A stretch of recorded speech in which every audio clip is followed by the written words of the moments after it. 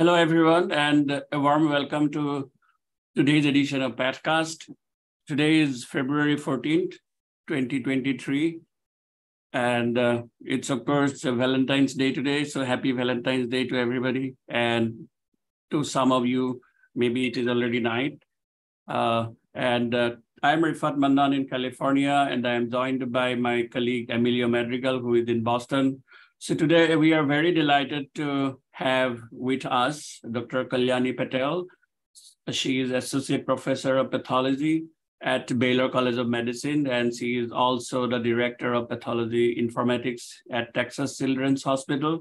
And today she is going to present a topic on pediatric pathology, and the title of her talk is going to be biliary atresia and its mimics. And as always, uh, you can post your questions or comments on Facebook or YouTube chat windows, and we will pass on to Dr. Patel at the end of the session. Over to you now, Dr. Patel, and thank you for joining us today. Thank you, Dr. Uh, Mannan, who is also, who is not only a colleague, but also a, fr a friend. Um, it is a pleasure and honor to um, uh, present this topic today um, on this platform. So I'm going to stop my video and we'll get right into the topic. Um, as you know, the title is biliary atresia and its mimics. And uh, uh, this is going to be a general overview for today's talk. To understand the entities that can mimic biliary atresia, I think the first step is to understand biliary atresia itself. Um, and how it can present at different stages. Followed, uh, once we have a good understanding of BA, we will then move on to entities with clinical neonatal cholestasis that can mimic BA, followed by entities that have histologic distal biliary obstruction pattern on the biopsy, um, and especially neonatal biopsies um, that can mimic BA. We will then move on to entities that have extrahepatic abnormalities, that is abnormalities within the gallbladder or you know in the extrahepatic tree that can mimic BA. We will then look at some diseases with liver explant findings that can mimic untreated BA or failed portoenterostomy, Kasai portoenterostomy, which is KP, um, followed by liver explant findings uh, in some diseases that can mimic treated BA with a successful Kasai portoenterostomy. So, so quite a quite a spectrum here. And as you can already see, a large number of diseases can mimic BA at various stages. So um, just heading into BA, it is an idiopathic or to date idiopathic progressive fibroinflammatory and obliterative disease of the extrahepatic biliary tract, including the gallbladder, manifest in the neonatal period, and if left untreated, can develop to progressive cholestatic liver disease, leading to micronodular biliary cirrhosis and even death by one to sometimes even up to three years of age. Um, typically, it is one to two years of age. Incidence really varies widely from one in 5,000 to one in 20,000, and is currently the most common cause of pediatric liver transplantation in the United States and possibly worldwide. Typically, um, as far as the neonatal presentation goes, it will be a healthy term baby with an uneventful pregnancy. The on onset of cholestasis is at or immediately after birth. Child is usually not very sick, and that actually can be um, uh, that can play against the early detection of BA. Um, scleral icterus um, and or jaundice are common um, presenting um, signs and symptoms, and clay-colored stools um, are often seen, but they could be intermittent. As far as laboratory findings, elevations of liver enzymes, which is um, aspartate and alanine trans, uh, transaminases, uh, are usually mild, and uh, the typical laboratory finding is conjugated hyperbilirubinemia with elevated GGT or gamma glutamyl transferase. So this was a um, a study published in NEJM from our institution uh, in 2016, where um, uh, we showed that uh, if you do serially two tests, so we'll look at test one here, which is done in the newborn period at less than 60 hours of life, followed by a second test for, again, both are for direct or conjugated bilirubin, bilirubinemia. And this is in uh, within two to three weeks of life uh, around the well child visit. And what we saw is that um, so the columns indicate biliary atresia present, absent, and the test in the rows indicate positive or negative. That is, the test was positive, meaning we had conjugated hyperbilirubinemia or not. And so, as you can see, when the test was um, uh, negative, none of these patients ended up being BA. And what you want from this test is very, very high sensitivity. You do not want this test to miss BA because early detection is important. And so, as you can see, the sensitivity was very high. In terms of specificity, um, it was not as as good as sensitivity, but still, um, uh, uh, you know, very good. And what I mean by uh, specificity is that we had a total of here between the two tests, we had 11 patients where the test was positive, but they did not turn out to be BA and that that is what we are talking about specificity. So the specificity was lower than the sensitivity but the sensitivity was very high. And so this test were proposed to be a pretty good screening uh, method for early detection of ba this was followed by uh, the same group uh, published in JAMA in 2020. So about four or five years later, so that protocol was introduced not only in our organization, but also neighboring institutions to pediatricians. You know, it was uh, an attempt at more of a statewide implementation of this early screening of BA using uh, conjugated, you know, you know, very simple test for conjugated hyperbilirubinemia. And again, as you can see, sensitivity was very good, specificity was good, not as good as sensitivity, but really good enough. And, you know, um, making this a very good test for newborn screening of BA. Uh, Coming to imaging findings, you have triangular cord sign, which basically shows thickening of the portal vein wall, uh, which can be seen on ultrasound and uh, is considered uh, quite specific for BA. And um, other imaging modalities include a HIDA scan. So this is an intravenous injection of a radioactive material called hydroxyiminodiacetic acid or HIDA. It is taken up by the liver and then excreted into the biliary tract. So you can see within zero to five minutes, you're starting to see the dye taken up by the liver and then subsequently, uh, you know, being excreted into the um, biliary tree. And so when you see non-excretion of HIDA into the biliary tree, it does not automatically mean obstruction. It can also mean that the liver cells being either injured or sick or for any other reason just did not take up the dye because this is, uh, the liver cells have to take up this dye from the blood this is an intravenous injection. And so we can have some false positives, obviously severe liver disease, neonatal hepatitis, small duct paucity syndromes, and alpha-1 antitrypsin, TPN, um, you know, inadequate fasting. These are the instances where you can have a false positive HIDA, meaning you'll have a you know, non-draining into the um, extrahepatic tree that, um, again, mimicking BA. So to overcome the limitations of HIDA, we have another imaging modality called cholangiogram. What you do in the cholangiogram is you directly inject the dye into the gallbladder. And what you're looking for is drainage via the cystic duct into the common bile duct into the duodenum. And then typically the CBD here is clamped and you also look for the uh, excretion of this dye up into the common hepatic duct and into the liver. And both tracts have to be highlighted to call this a normal IOC or intraoperative cholangiogram. Non-draining IOC is when you do not see the C, uh, you know, you do not see the dye going into the CBD, into the duodenum that is non-draining, typically seen in about 55% cases of BA. And then there are there is a small subset of BA where you will see drainage of dye into the duodenum, but you do not see dye going up from the common hepatic duct into the liver. And so more of a proximal obstruction seen in a smaller subset of BAs. Um, but essentially both of these patterns uh, would be would then be considered diagnostic for BA. And once you see this, the child then goes to um, uh, undergoes a procedure called Kasai enterostomy. In terms of biopsy, there are really three classic features on biopsy. You want to see portal edema and mixed inflammation. So here is a portal tract with a portal vein. Um, you have an artery and a bile duct, and there is um, edema, diffuse edema into the portal tract with mixed inflammation, neutrophils, lymphocytes, some histiocytes.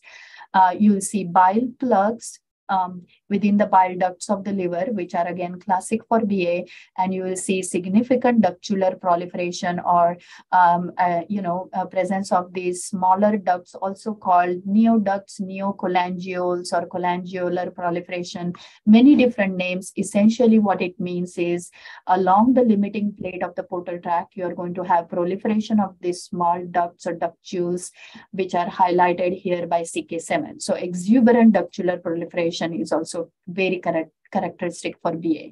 Um, lobules or the parenchyma proper here in the hepatocytes, they're typically very bland or non-inflamed, and they'll show cholestasis, both canalicular and lobular.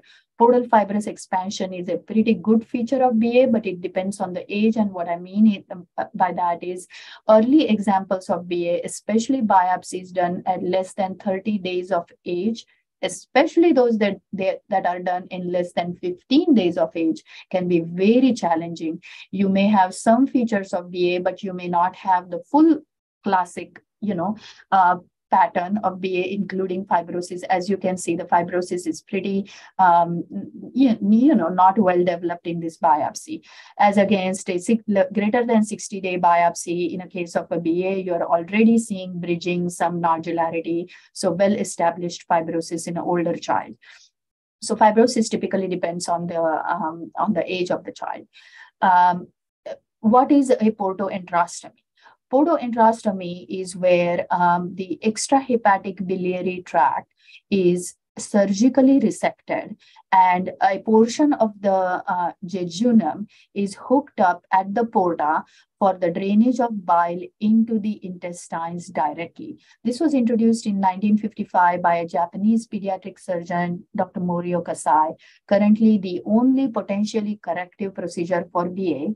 It, it's not a cure for BA, but what it does, it, it prolongs uh, native liver survival. And it is considered a bridge to transplant because um, eventually these patients will end up needing a transplant. The question is when. And the goal is to postpone that transplant and to to give as much longer as possible native liver survival uh, to a child with BA using Kasai portoenterostomy. And so this is typically how the resection specimen um, from a Kasai portoenterostomy would look like plate indicates portal plate or a portion of hilum that is typically resected with the specimen. You have common hepatic duct, you have a little portion of a cystic duct. The gallbladder, as you can see, is very diminuted or hypoplastic with a you know very narrow lumen and then a very tiny portion of CBD here and it is sampled methodically to document lesions at different segments of the extrahepatic tract. And typically under the microscope, we will see a fibroinflammatory occlusion of the extrahepatic bile duct it's just different forms that you know these three microscopic pictures show um, findings that can range from near complete occlusion to some presence of biliary epithelial cells, um, but, but you know without any normal normal or patent lumen. This is an, uh, another example of an in-house case where you have a gallbladder and uh, showing how we sample these specimens. And as you can see, so we went from A10 to A18 here, different sections. In A10, you got 110 micron, really small bile duct um, uh, remnant here. And suddenly in A11, you have 2.4 millimeters luminal size. And this is how the epithelium looks over here. And you can go again, you know, A12, barely any lumen, again, barely any lumen. You can see just some muscle here and then again um, very distally you have you know like a very small diminuted lumen. And so it is important to highlight uh, methodically the location or localization of these lesions um, you know for the anatomic classification of the ba and so just to sort of briefly summarize what we talked so far is um, you know you the child is going to present at or immediately after birth in an untreated ba the child is going to have increased conjugated bilirubin with jaundice. By three months typically presentation you know presentation with jaundice is very obvious and clear. By six to nine months if left untreated the child is uh, slowly going to get into liver failure. And again if left untreated um, death without transplant in one two or sometimes up to three years. Now without screening Typically, Kasai portoenterostomy is done in 60 to 90 days, and there is a good amount of literature that shows that early Kasai helps with longer native liver survival.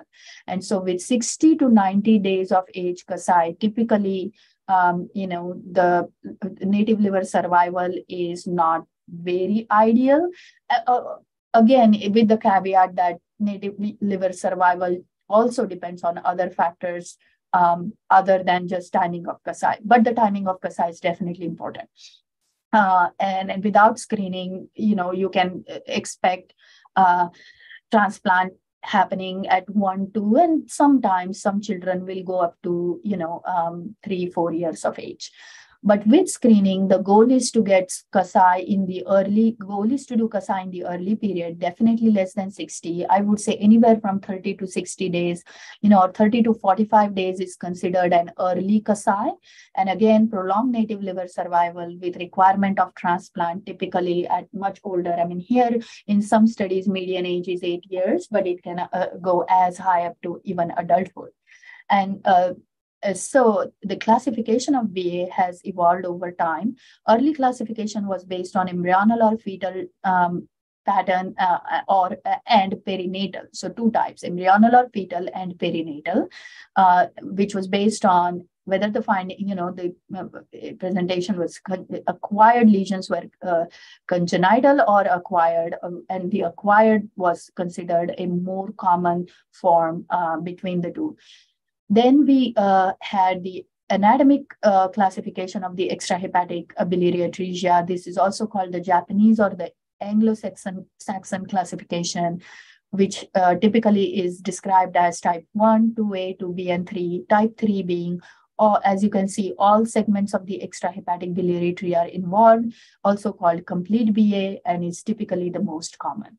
Both classifications have etiologic and prognostic limitations. And so more recently, um, um, this physician from UK, Dr. Davenport, has proposed a uh, a four-tier uh, you know categorization for BA based on isolated BA, syndromic BA, cystic BA, and CMV associated BA. This field is still evolving, and um, you know uh, we have we don't have consensus for each and every um, aspect of BA. Differences in post-KP course we could see here as two examples. So let's look at a case where uh, we have a non-functioning or failed Kasai and it is defined by persistence of elevated conjugated bilirubin because the expectation is that after a Kasai is done and the abnormal extrahepatic biliary tree is removed and the jejunum is hooked to the porta, one should have clearance of jaundice and normalization of conjugated bilirubin in three to six months of surgery. Once that happens, this is called a successful Kasai or a functioning Kasai. And we'll see two examples where KP was done at 60 days of age in both cases. But one patient here has a non-functioning or failed Kasai and the other has a functioning or successful Kasai. So this patient will have persistent elevated conjugated bilirubin, synthetic liver dysfunction, may even have TPN dependence, and um, in this case, ended up needing a transplant at seven months of age. We have KP done at 60 days, but because this is a successful Kasai, conjugated bilirubin is was normalized. There's no jaundice, normal liver function.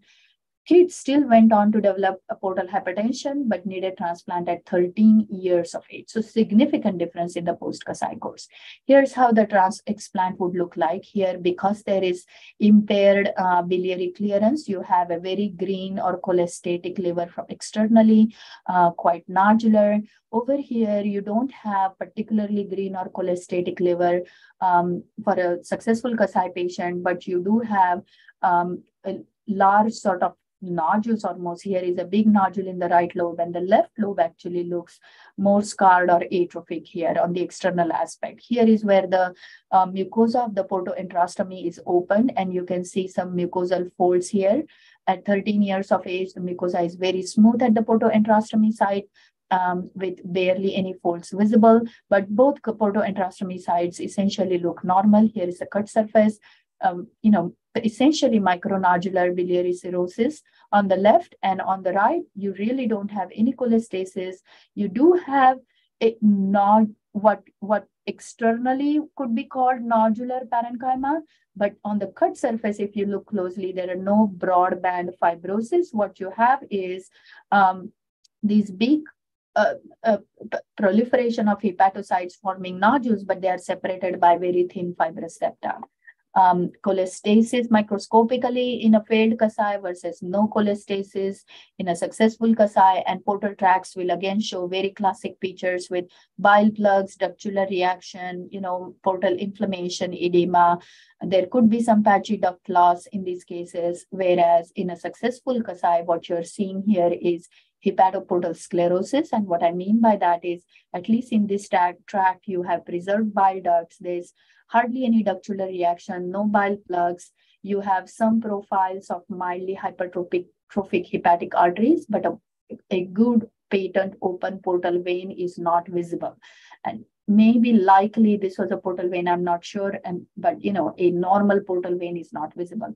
And you so you do have this portal venopathy uh, in the parenchyma we have very uh, hilar fibrosis in a failed Kasai, whereas uh, you know, typically successful Kasai patients show absolutely no peri- perihilar fibrosis, um, and both patients will show peripheral fibrosis um, uh, to varying extent.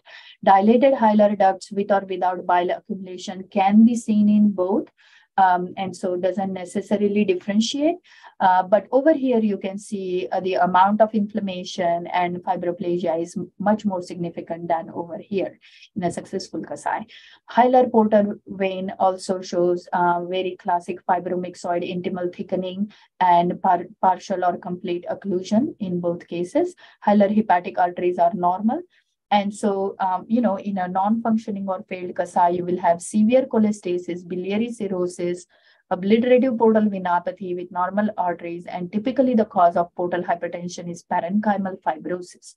As against in a functioning Kasai, you will not have cholestasis. Typically, the fibrosis is variable.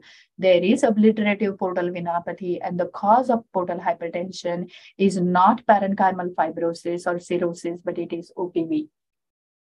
And so we uh, published this study, um, uh, you know, of uh, biliary atresia patients with successful uh, portoenterostomy presenting with obliterative portal venopathy, proposing this hypothesis that the cause of portal hypertension in these patients is um, not cirrhosis. And so uh, explants of these patients should be evaluated carefully for these lesions.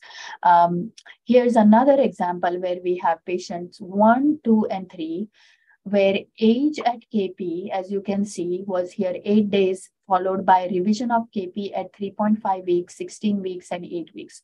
So if you just make a guess based on the age of KP, um, this patient has had KP at 16 weeks, which is four months, which is, you know, per current standards, this would be called a late KP.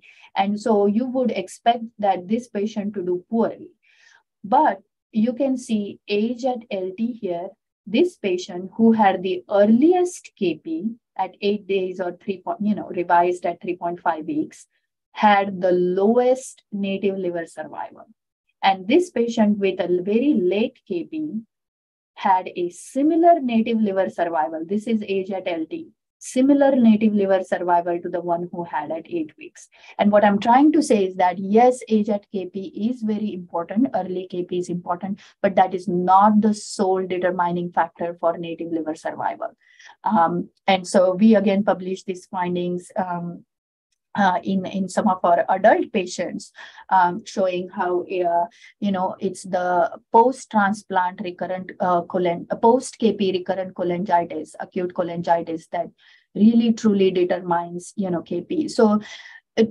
To put it very very simply i think this is similar to you know when we say if we want to have a good productive day you have to get up early and then you got to do the things that you got to do right but then just getting up early is not is important but but not sufficient you still have to do the things that you want to do at the same time if you get up a little late but maybe you catch up on the things that you still want to do you could still have a productive day.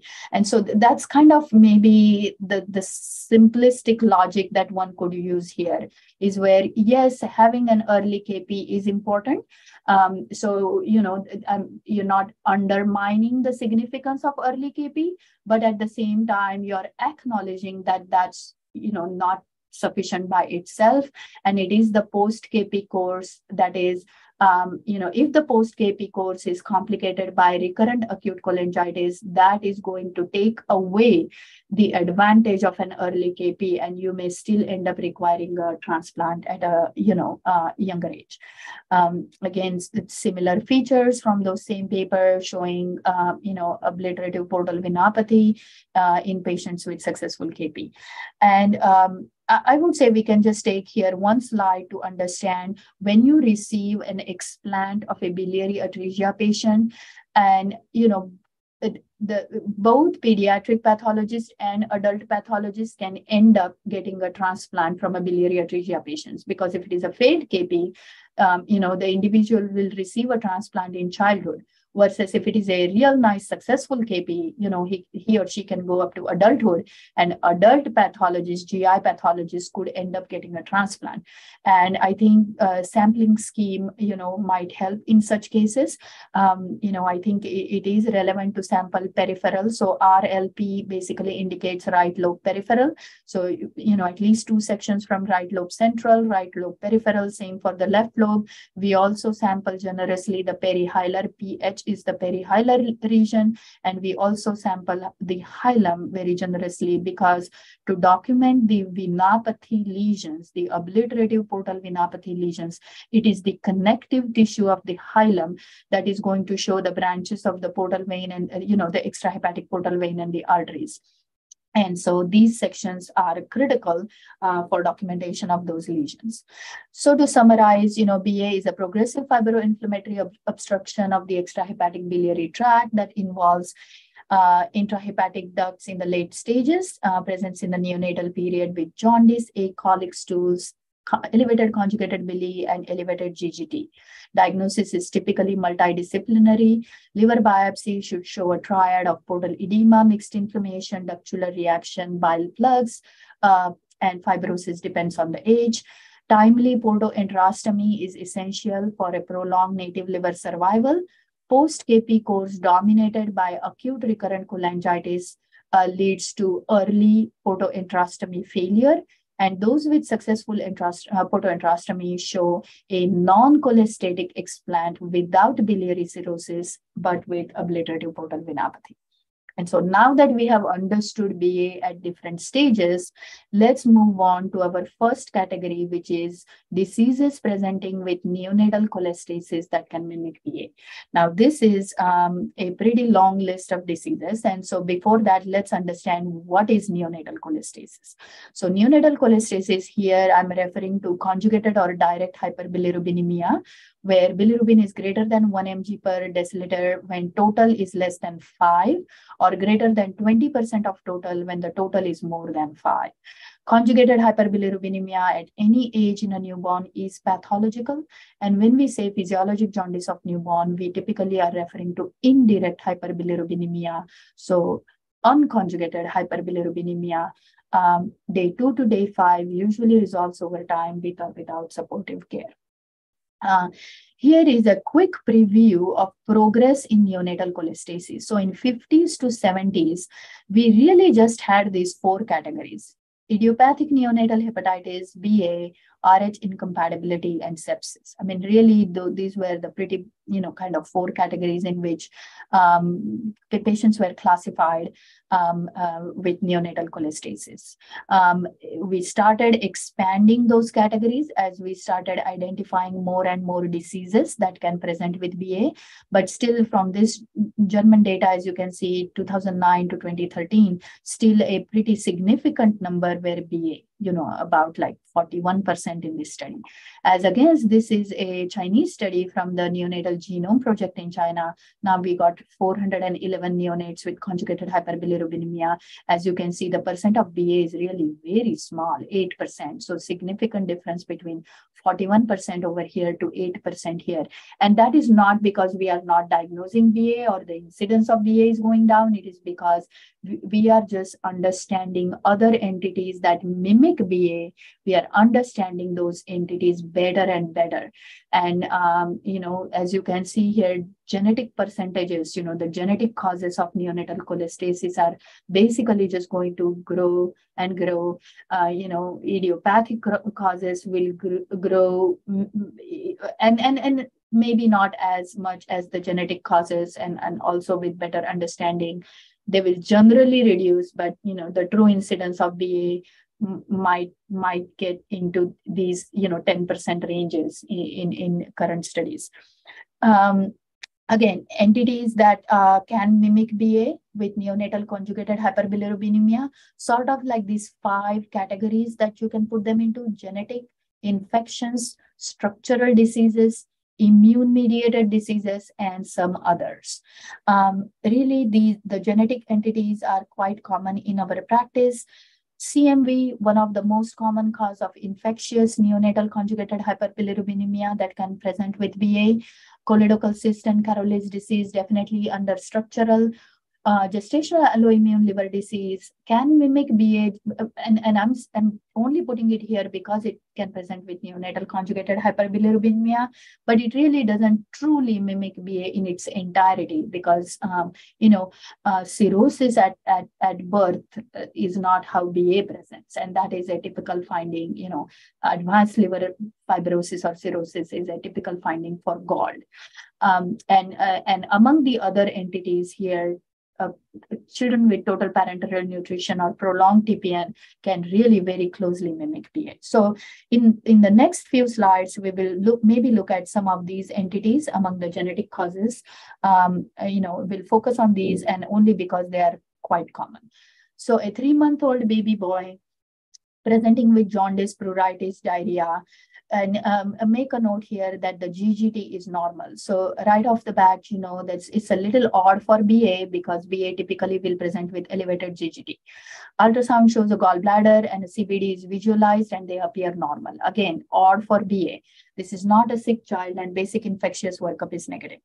On the biopsy, we have mild portal inflammation, canalicular cholestasis, and occasional multinucleation of the hepatocytes. Uh, you have portal tracts that are that show preserved bile ducts. Uh, you do not have bile plugs, and the, the ductular reaction is not significant at all. Um, in those dilated canaliculi where we saw bile, electron microscopic examination shows coarse Byler's bile. And so in the report, uh, the way we'll structure our report, we'll say mild portal inflammation with moderate lobular cholestasis. I typically say in my report, um, you know, no evidence of extrahepatic biliary obstruction because typically that is the reason why they are doing the biopsy. You know, it, it's rule out BA.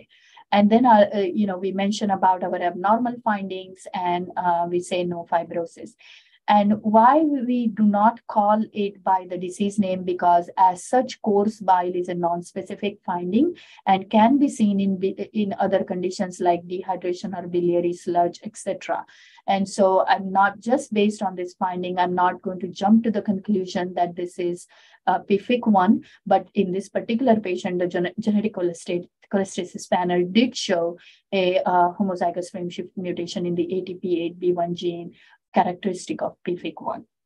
This patient underwent an explant at 11 year, uh, years of age. As you can see, there is really grossly no fibrosis or cholestasis grossly, but microscopically you have, you know, canalicular and hepatocellular cholestasis. You know, you have atrophy of the interlobular bile ducts, uh, meaning for the size of the portal tracts, the uh, caliber of the duct is pretty small, and some tracts even have no ducts. Uh, fibrosis can vary from region to region, um, and this is a progressive familial intrahepatic cholestasis type 1 or PFIC1 mutations in the ATP8B1 gene, um, you know, usually needs uh, uh, a transplant by, you know, adolescents.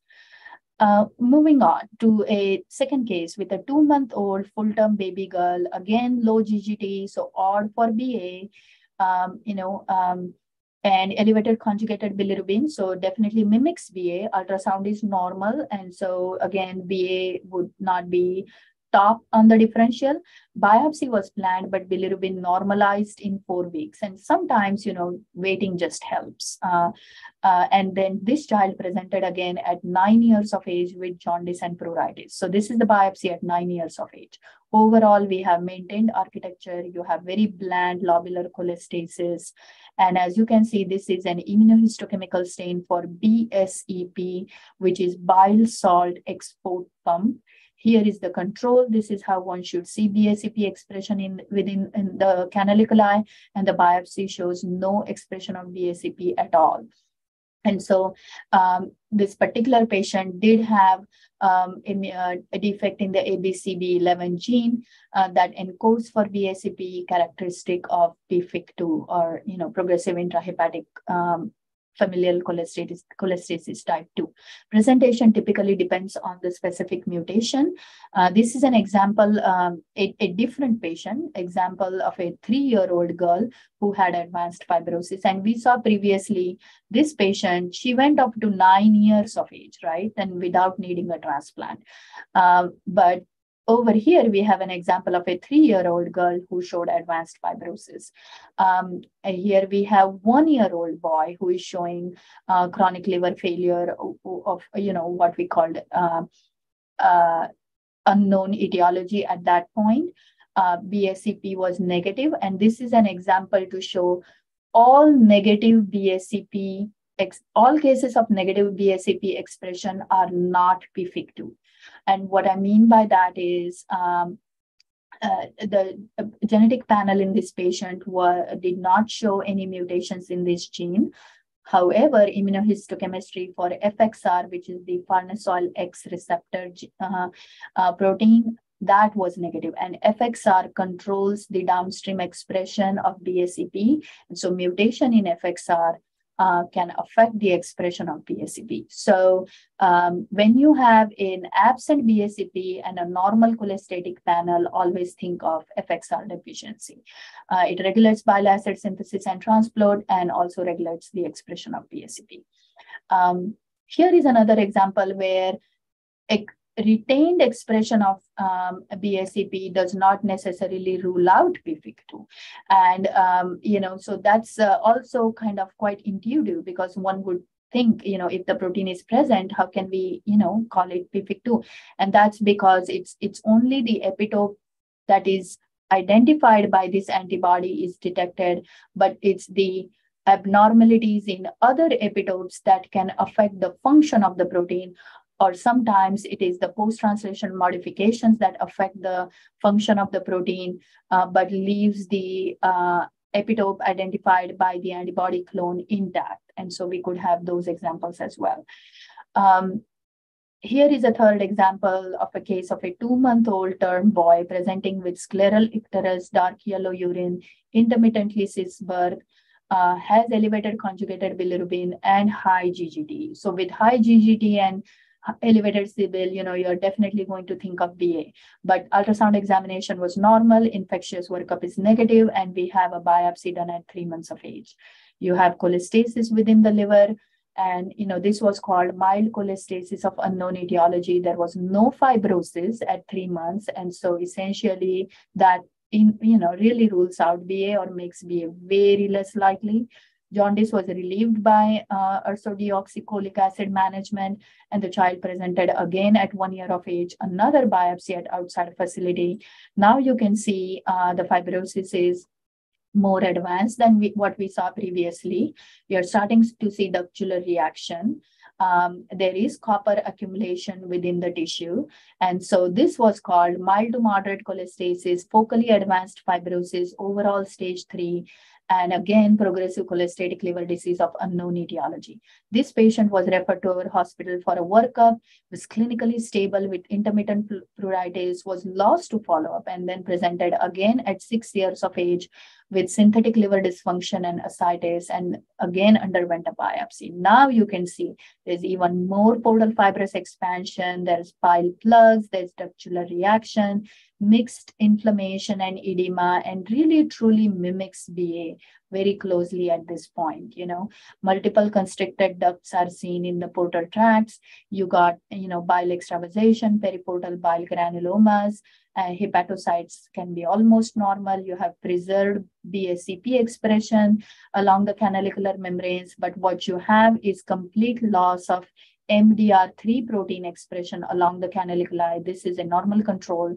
And so loss of MDR3 really, um, you know, hinges the diagnosis for PFIC3 or which, um, uh, uh, you know, happens because of the gene defect in ABCB4 transporter of phospholipids across the canalicular membrane. So this patient underwent an explant at eight years of age. This is how the explant looks like. In the larger tracts, as you can see, there's hardly any pathology. You have the portal veins, the hepatic arteries, the bile ducts that really look very normal. But when you come to the smaller interlobular portal tracts, you know, they are often devoid of ducts. They will show bile plugs, ductular reaction.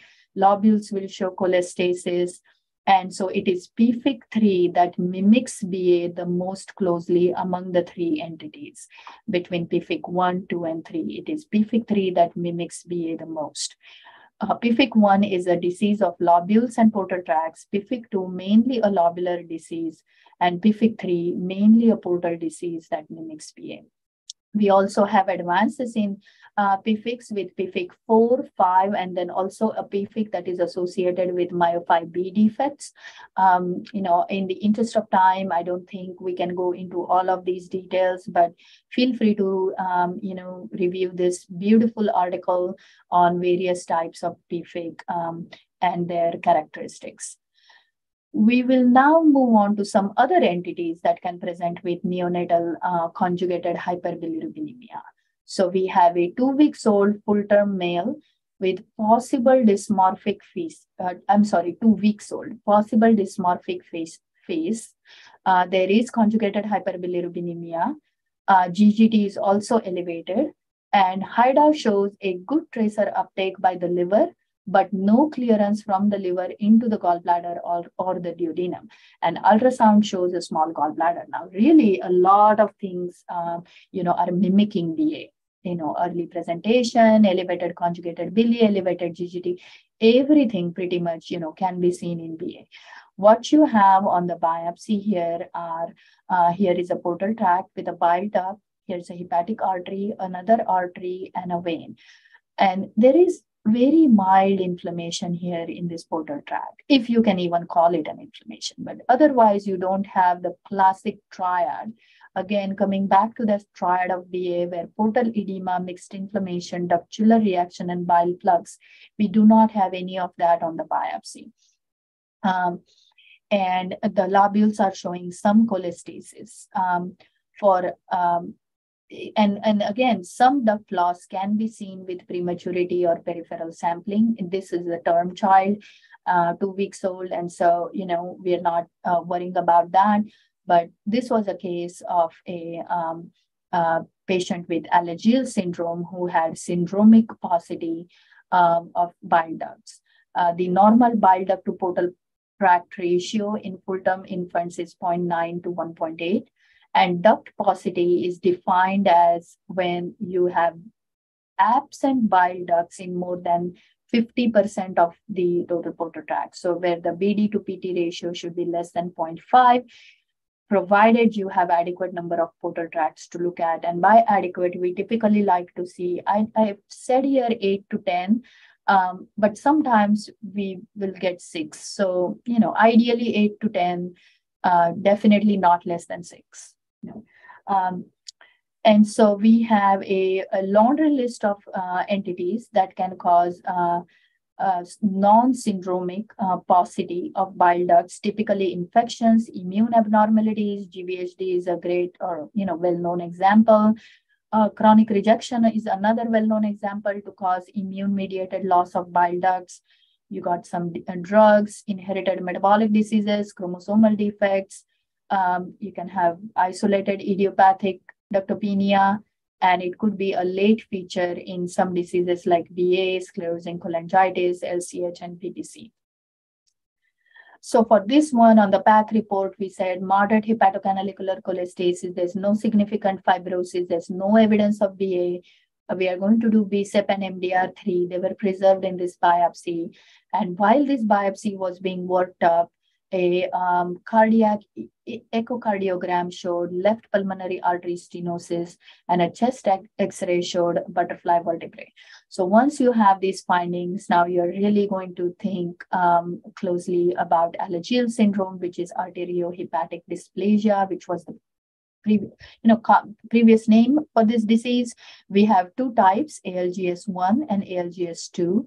One is uh, much more common um, and is um, happens due to mutations in the JAG1 gene on chromosome 20. For type 2, the Notch2 gene on chromosome 1p is responsible. And what we have as a pathology is progressive intrahepatic loss of bile ducts. Ductular reaction may or may not be present. Cholestasis is usually mild, and extrahepatic abnormalities may or may not accompany uh, patients, uh, you know, with Alagille syndrome. This is a good article published in PDP where they talk about how presence of ductular reaction in an early biopsy. So this was a wedge biopsy at six months age. Um, presence of ductular reaction confused the management and this patient was originally thought of as BA but then a subsequent biopsy at 25 months of age um, shows absolutely no ducts or ductular reaction. And it just took some time to establish the diagnosis of Alagilles on this biopsy. Uh, here is just a spectrum of pathologic findings in Alagille.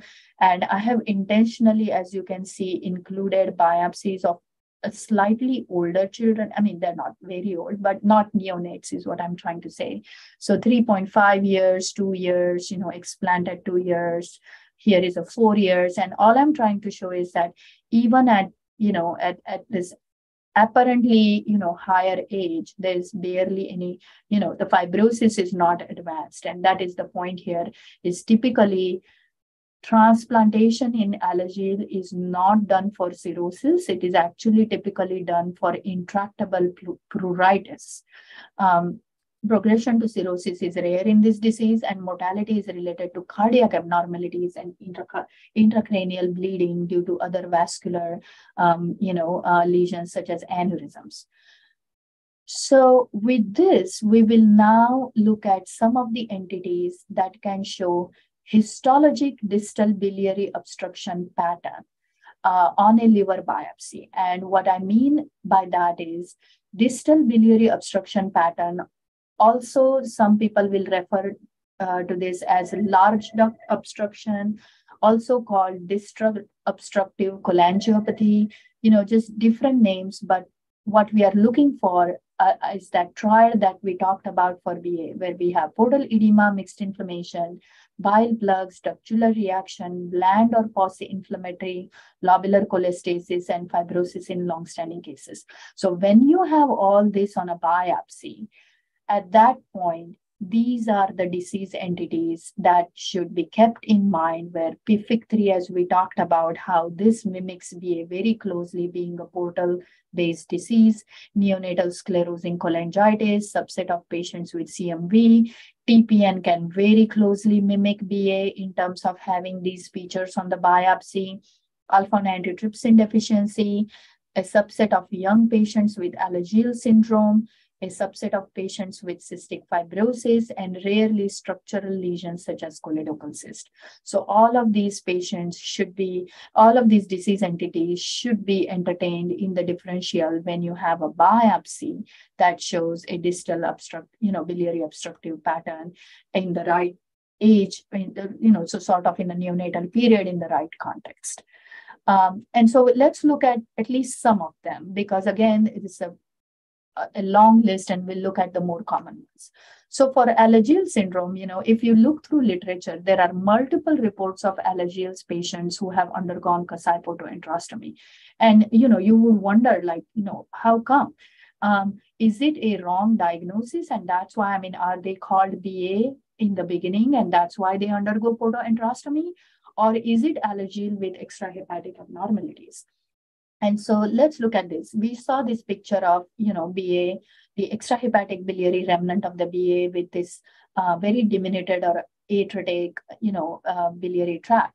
And so this is a 12-year-old uh, male with Alagille syndrome. And as you can see, there is complete absence of extrahepatic biliary structures. The gallbladder fossa had a somewhat thickened connective tissue, but really there was no identifiable gallbladder um, anywhere over here. And even in the hilar region, as you can see, so here is the liver parenchyma, here's the uh, vessels, you got some thick nerves, but there is no bile duct. So in the hilar region, there's complete absence of bile ducts. And what we had is at the uh, section of the common hepatic duct, we had this one very single diminuted profile of a bile duct that measured 240 microns. And so one would say, well, all of these extrahepatic findings, you know, these truly mimic BA so closely. And so this is a beautiful radiologic study done in 2017 where they looked at seven patients with Alagille 48 patients with biliary atresia, and they looked at a bunch of radiologic features and saw which of the features that are otherwise typically considered for BA or considered classic for BA were also seen in Alagilles. And as you can see, small gallbladder was seen quite frequently in Alagilles. Gallbladder wall irregularity was also seen here. And by MRCP and uh, IOC, which is intraoperative cholangiogram, you can see um, a whole host of abnormalities were seen in a good number of Alagille patients, you know, non-visualized confluence level. 100% of Alagille patients showed this. Non-visualized common hepatic duct, you know, two, two-thirds of Alagille showed this. Um, and so it, it just nicely illustrates how extrahepatic abnormalities that we often consider to be specific for BA are not really specific for BA. You know, and there is no genotype phenotype correlation today. JAG1 mutations have been reported in patients with BA. And so the question is, you know, just because a JAG1 mutation is present, should you call that patient uh? Right, you know, so and so clinical criteria for diagnosis of Alagille are evolving, and there is a, a whole body of literature uh, on that. Here is a, a nice uh, descriptive um, paper showing how extrahepatic abnormalities in patients with cystic BA, um, uh, I'm sorry, in patients with cystic fibrosis um, can mimic BA. So we had four infants with cystic fibrosis who underwent Kasai portoenterostomy. Uh, and and uh, these are the findings from their biliary remnants.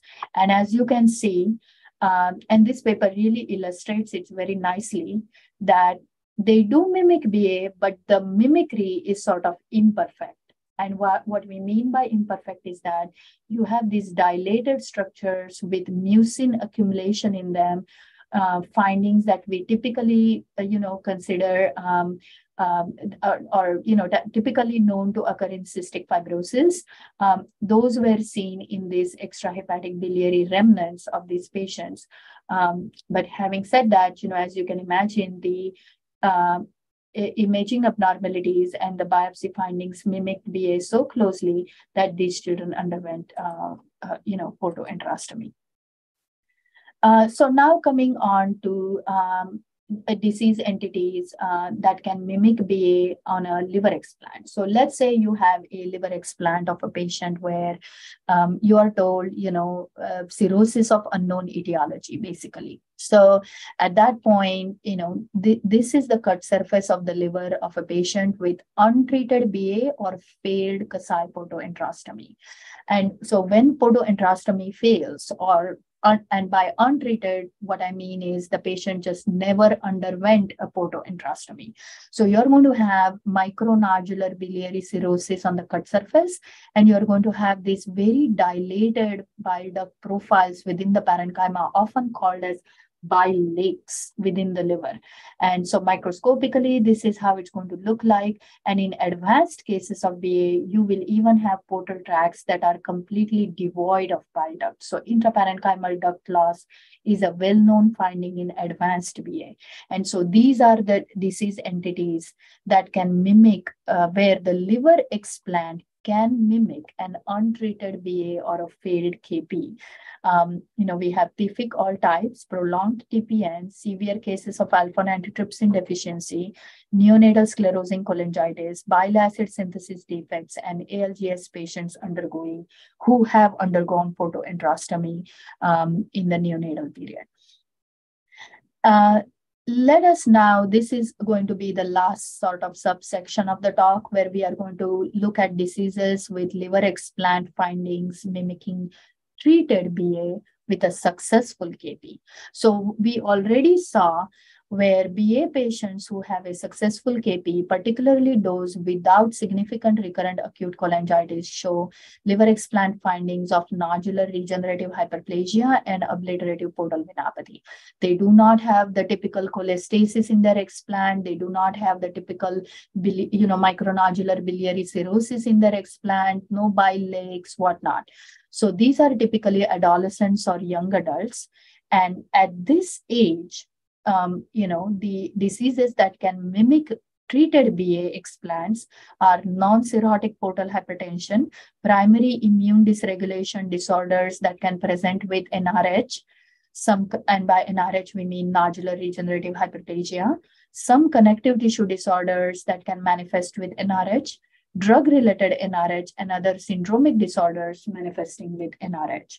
And so here is one example. This is an explanted liver in a 13-year-old girl who had NRH and OPV, which is obliterative portal venopathy, due to an immune dysregulation disorder. See how the cut surface of the liver looks very nodular, but not cholestatic.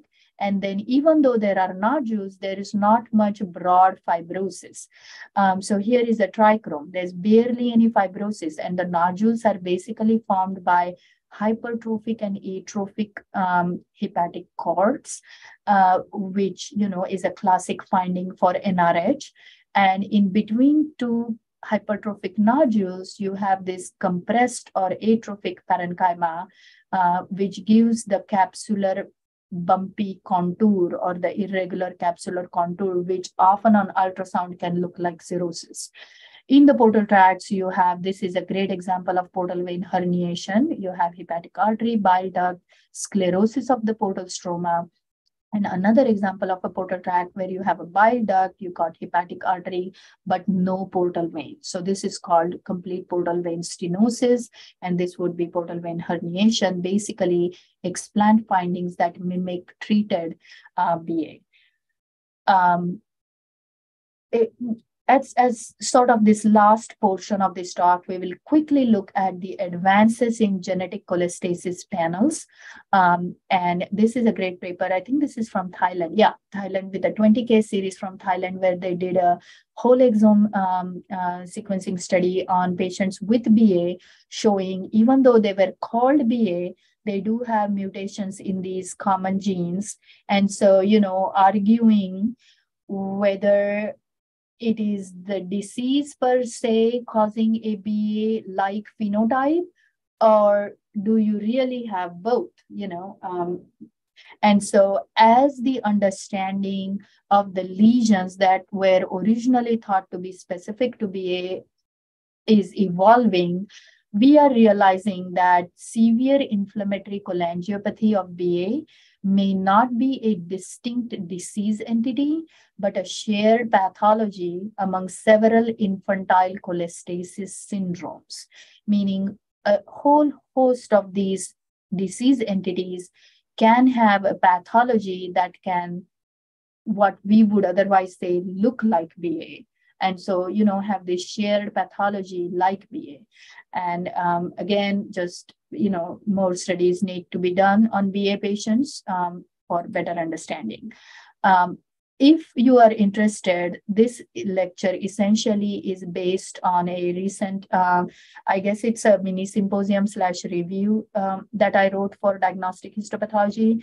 So if you are more of a reader than a listener, then feel free to uh, review this article. Essentially talks about the same things that I, you know, showed on this presentation, uh, and even possibly in maybe in in some, you know, greater details. Um, and that's it. Here's, uh, you know, all of my coworkers without whom it's impossible to um, have a, a, a thriving, um, you know, clinical and academic uh, practice.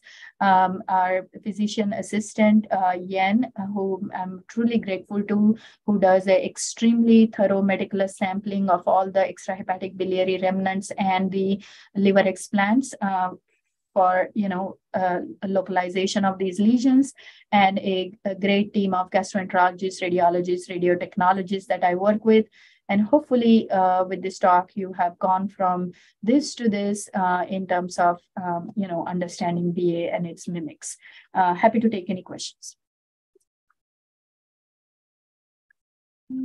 Thank you so much, Dr. Patel, for this uh, excellent discussion on uh, this very important topic that is biliary atresia and how uh, we can differentiate from so many different mimics.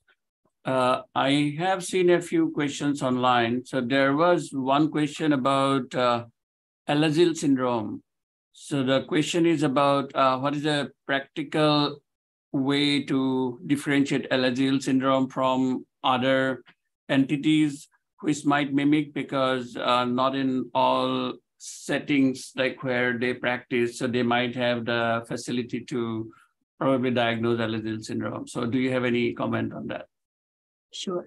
And uh, it's a great question, actually. And, you know, it's very easy to come to a diagnosis when you have a lot of modalities at hand. Um, but in a limited resource setting, um, I would say uh, look at the age of the biopsy, and age should really help. So, um, if you have a early biopsy, um, at that point, Alagille can truly mimic BA, and it is, I would say, you know it, it, it's not a good idea to be very definitive um, uh, uh, on an early biopsy uh, if you have a ductular reaction you know bile plugs and so you know distal distal histologic distal biliary obstruction on biopsy at, and by early i mean three to four months of age in a neonate you know you could have um, both Alagille and ba um, what can help with Alagille and BA is older. So if you get a biopsy that is uh, a child at three months or older, and you have no fibrosis on the biopsy at all, or very minimal fibrosis at three months or older, at that point, you can keep BA low on the differential. Um, and beyond three months, if the biopsy is from an older child, no fibrosis and duct loss, at that point, you can at least bring in the possibility of an Alagille. Um, and I mean, chest X-ray uh, should should be available. You know, even if you are in a in a I would say a resource limited setting, chest X-ray, um, you know, is a very easy modality to look for butterfly vertebra. Um, ask your uh, gastroenterologist if they're worried about any dysmorphism in the face, and you know, so with, with those helpful clues, um, you can uh, at least bring in that possibility and and i can understand if you you know don't want to outright say Alagille in your final diagnosis you can at least top line your path report as saying you know bile duct loss or duct paucity see comment and in the comment you can say you know, um, biopsy shows uh, less than 50% portal tracts with the, uh, uh, with a preserved bile ducts. So, or in other words, more than 50% with absent ducts. And in the context of, you know, um, a, if you have butterfly vertebra, if there is any, if you don't have echocardiogram, maybe ask the pediatrician to hear the heart and, you know, you maybe you will hear a murmur. Um, so uh, you know, pulmonary artery stenosis, even in the neonatal period, should give, you know, you should hear a murmur. And so if there are any clinical concerns, you can write in your report um, that, that you suspect, you know, um, Alagille should be ruled out or, you know, or bring in the possibility of an Alagille. Thank you so Long much. answer, but hope it helps. Yeah. Uh, thank you. I think I think this is very helpful. Uh, what I understood is uh, also that you suggested basically also to our viewers that it is a constellation of all the clinical findings that has to be taken into consideration. And even in a limited research setting, if uh, the entire clinical picture is taken into account, so maybe one can uh, uh reach out to at least suggest Alagille, right? Yeah, yeah, agree. Right. So, and there is another question uh, which is related about paucity of bile ducts, and uh, you mentioned about counting them. Uh, and uh, so the question is about: Do you routinely use CK7 to properly, you know, be able to count uh, the bile ducts and the portal tracts? What is your experience on that? Great question again. And so I would count bile ducts on H&E first because CK7 is going to highlight a lot of, if there is ductular reaction, a lot of ductular reaction is going to be highlighted by CK7, at which point it can become confusing uh, where the central duct in the portal tract could be absent and you would have ductular reaction and, and if one of those ductules are big enough, you don't want to count that as the central duct. So start with H&E first and see what you get on H&E. Uh, and again, focus on the ducts that are present in the center of the portal tract. So close to the arteries, close to the veins. Um, and if you're suspecting paucity on your H&E counts, then go to CK7 and confirm. Um, that would be the approach. But, um, you know, just jumping to CK7 um, can can be well if they are diffusely and you know completely absent then that's a different story and there is no ductular reaction. At that point ck7 can help. But in the context where the ducts are absent and you have ductular reaction in that very specific context ck7 can be confusing. And so i would recommend starting with H&E and then move on to ck7 I think this is a great answer, Dr. Patel, because uh, one might have a tendency to do CK7 and, you know, like be able to actually reliably, more reliably count uh, the bile ducts and the portal tracts. But as you said, that it might be misleading and one might actually take into consideration the bile ductular reaction, right? Not yes. the, not the, like not the actual duct. central duct. Yes. Yeah, yeah.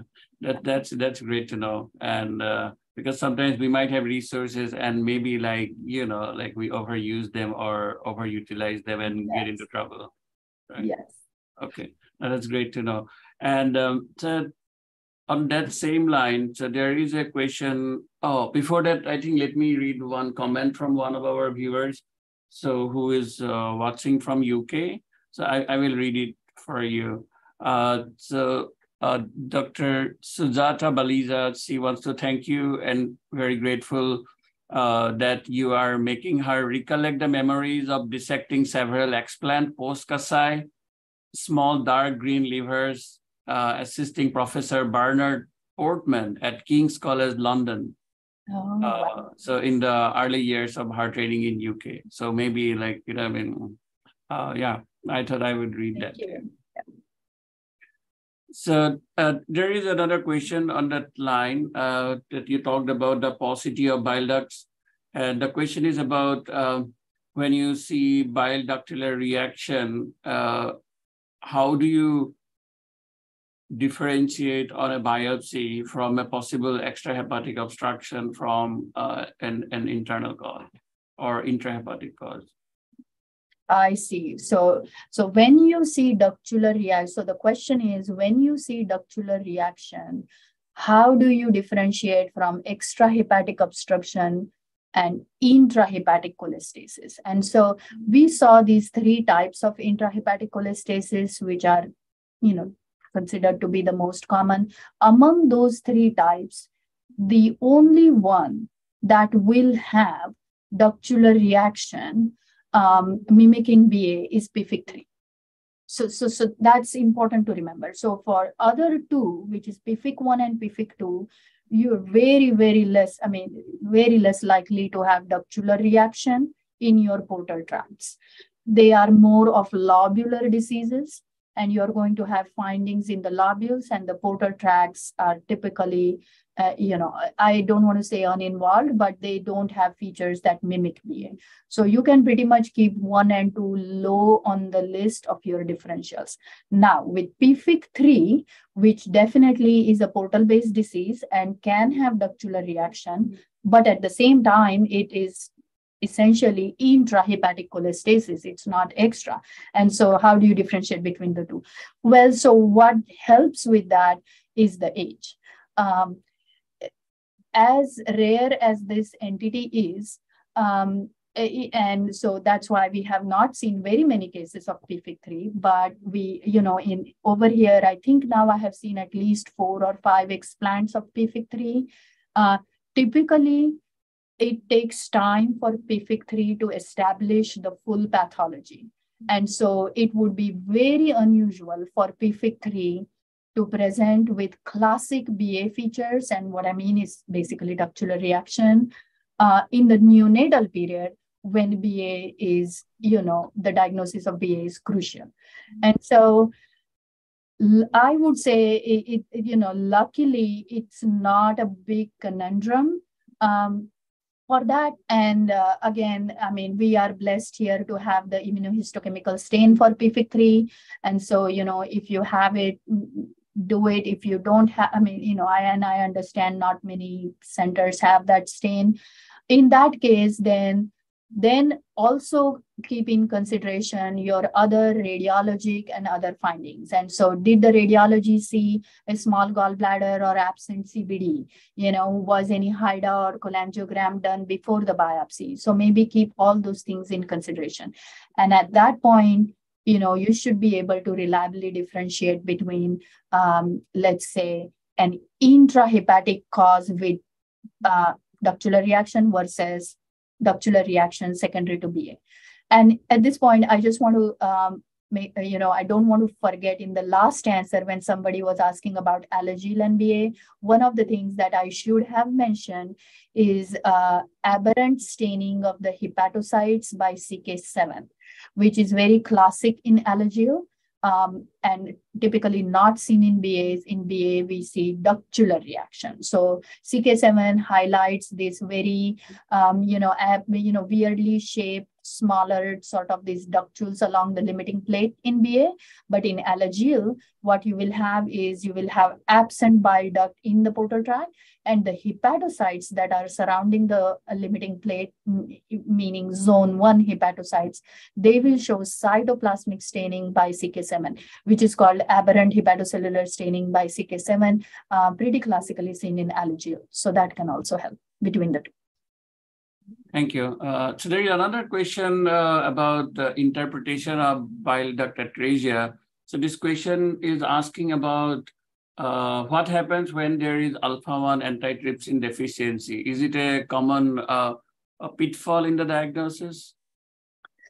Yeah, it's tricky. And so, so um, alpha-1 antitrypsin deficiency does give rise to a more um, uh, uh, like a thicker bile or um, you know biliary sludge or or um, you know a more viscous bile, uh, which can sort of uh, you know, I, I don't want to say obstruction, but, you know, it can give rise to stasis of bile in the extrahepatic uh, biliary tract and um, can mimic distal biliary obstruction um, on a biopsy in a neonatal period.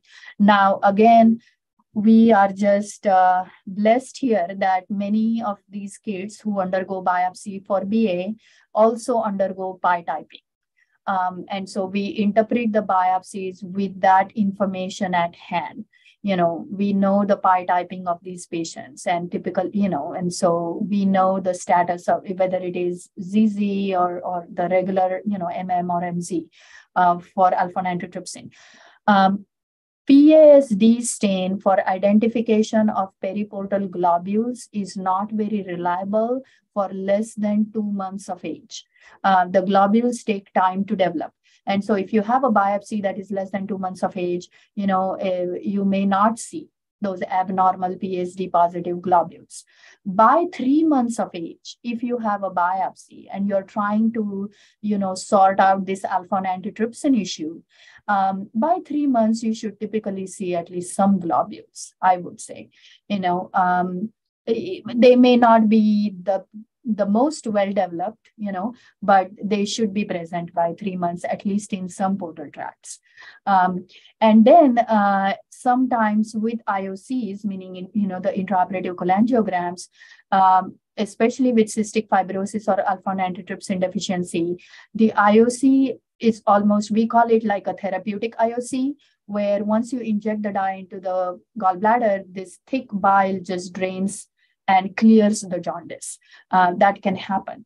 Um, and so, one of the things to remember as a pathologist when you are assessing a biopsy that comes to you with a question, rule out BA, the worst that you can do on a biopsy, and what I mean by that is, you know, you, you are calling something BA that is not BA right? Like that would be the worst that you can do on a biopsy. So let's say you do that. You call something BA or you say very, you know, like suggestive of BA or consistent with BA, whatever words you use, and you tell your uh, hepatologist that you think this could be BA. What essentially happens after that, at least in our setting here, is um, the child goes under anesthesia and the child undergoes an intraoperative cholangiogram after the biopsy.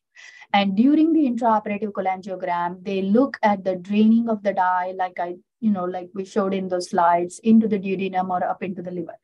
And at that point, if the dry the dye drains into the liver and up into the, you know, and into the duodenum, at that point they will abort the Kasai and uh, you know the, the child will just be taken out of the or so what i'm trying to say is that the worst you can do by calling something ba is you will buy the child an unnecessary intraoperative cholangiogram.